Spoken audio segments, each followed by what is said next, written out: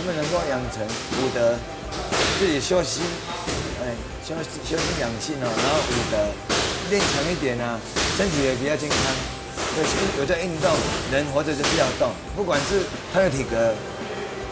多好多差，我们都我们都会训练他，总是要给学生一个机会，这才这才是真正的教育。